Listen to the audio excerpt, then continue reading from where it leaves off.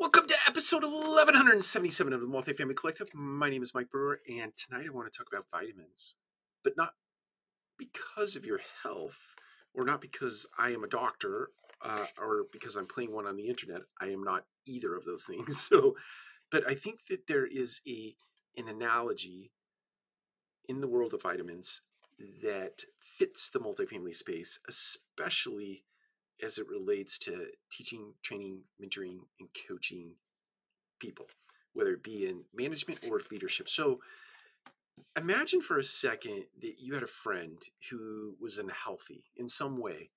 And let's say it, it, it is a physical way, right? And,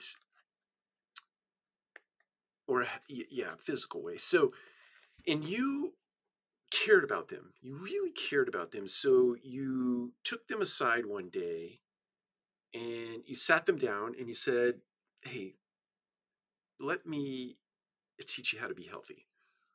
And you grabbed a fistful of vitamins and you, you got a cup of water and you went over to your friend and you sort of like grabbed the back of their head and pulled it back and somehow help them open their mouth wide enough that you could shove a big handful of vitamins down their throat to get them healthy.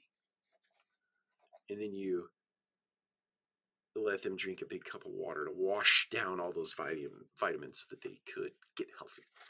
Now, it's a ridiculous picture, right? You're not going to get somebody healthy by just shoving a bunch of vitamins down their throat.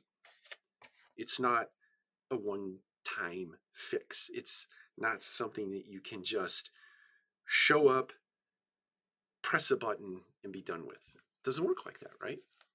It's a ridiculous analogy. However, it is applicable as it relates to many times in the multifamily space, and I'm sure this is this exists in industry at large, right? I think picture that comes to mind for me in the multifamily space is where you you hire a property manager, you hire a assistant manager, you hire a leasing consultant, you hire this. What I'm about to say is nothing new. You hire a regional manager and you bring him in and you say, I don't have any keys. Let's pretend this is a, a ring full of keys. You hand them the keys, or you you handle you hand them the app. You tell them where to download the app so they can get access to to all the things in the building, and you say good luck it's the equivalent of shoving a fistful of vitamins down someone's throat and expecting them to be healthy. You give them the access, show them where the chair is, you give them a laptop, and you say, Good luck. Call me if you need something, but don't expect me to answer. right? That happens in the multifamily space, it happens in business at large even in a scenario where you have good onboarding, right?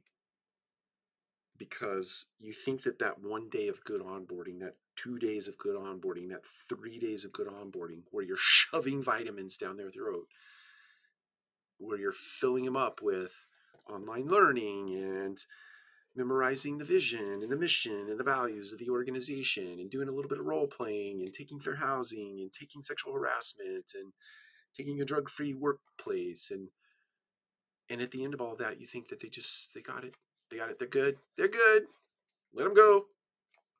They'll make it sink or swim. And then we're surprised when we get feedback through in our case swift bunny uh, our employee engagement survey platform. Amazing group of people by the way. If you're not using swift bunny i endorse them. We are a client. I'm not getting paid for that but they are an amazing, amazing platform. And I encourage you to use them. Um, but you get the feedback through Swift Bunny and you're shocked. You're surprised that they're sinking, that they don't understand, that their onboarding was bad, that they didn't have their technology set up. You're surprised by that. So, my encouragement to you today don't try to shove vitamins down people's throats to get them healthy. Neither don't try to shove a tremendous amount of training and teaching and mentoring and coaching down someone's throat in the first three days of their multifamily experience because they will do nothing but throw it all up, right? And they will not be healthy and they will not be successful. Take care. We'll talk to you again soon.